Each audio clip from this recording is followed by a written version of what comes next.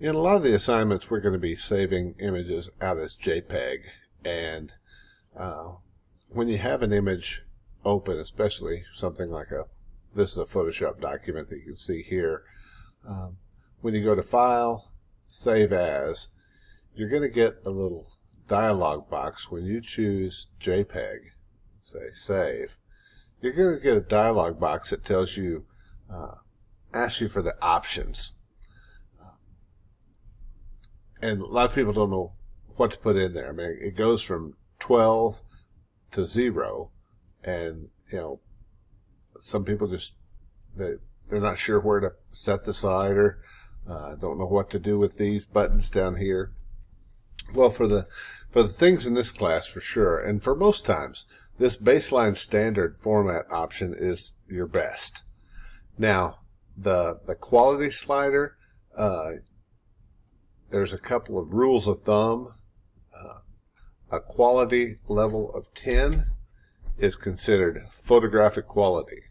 There is a maximum of 12, but it's just there's no discernible difference between 10 and 12 when you print a photograph on photographic paper. So for the size difference, uh, a 10 is plenty. Uh, when we do things for the web, we do things at uh, 8 and seven, sometimes six, still in that medium range. And then when you get down to four uh, and lower, you're in the low range, and things start to look different. So I, I wanted to just quickly show you a little bit of the difference. I'm going to shut that. Here's an image that I took in Seattle years ago that uh, I want to kind of give you a, an idea of what it looks like at different resolutions. Well, at different pixel quality when you save at different levels of JPEG compression because a JPEG is just a compression algorithm that uh, allows images to be saved smaller. So if we look at this, uh, this is a level, I'm going to open up my layers here. This is the this is the level 10 JPEG. Now, I want to, I'm going to click through here and show you the different levels of compression and you're not going to see much change. Here's a 10. Here's a 5. Here is a 1. And the video quality is going to determine whether you see much change or not. Uh, but there's not a lot of discernible difference when you're just viewing things at about 100% on the screen. But as far as image size, if we look at the level 10 JPEG, when you save it, it's 408 kilobytes, which is about a half a megabyte, which takes a little bit of time to download if you're on a phone or a slow connection.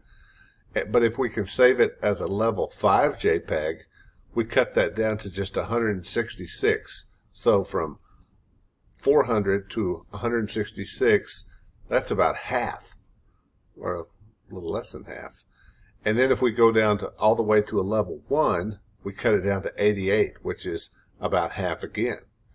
So uh, images that are low resolution, or sorry, low JPEG quality, but high compression, are able to be downloaded much quicker. So they, they show up faster on your phone, they show up faster on social media.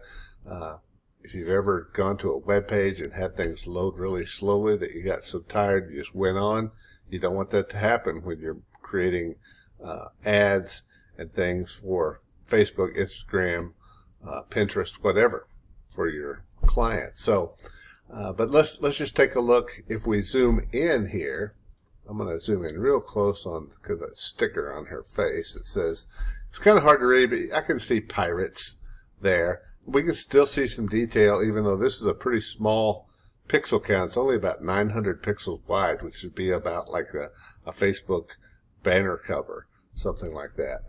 Uh, so let's uh, let's go down and see what it looks like at a level 5. It didn't look much different when you were looking at it 100%. Here we're looking at it at 590%. We'll even click one more. We'll go up here at about 700%. So now you're starting to see the individual pixels.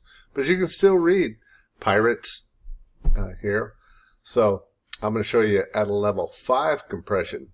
To lose half the size, you lose that much quality. Okay? I don't know if you can tell much with the video, hopefully. There's uh, uh, some pixelation, more pixelation, the thing called JPEG artifacting. Uh, it's digital noise that happens. Now, you should be able to see quite a bit of difference when we go down to a JPEG level 1. You start to see these things where the, the things are uh, coming into squares, big clumps of pixels that are of similar color. So uh, the difference between a level 10 and a level 1. Huge amount of difference. So just be careful how you save and the options that you choose depending on what you want to use that image for. If it's for photographic quality, it needs to be level 10. If it's for the web, you can choose a quality from 1 to 8 or 9, uh, depending on what it's going to look like when you see it on your screen.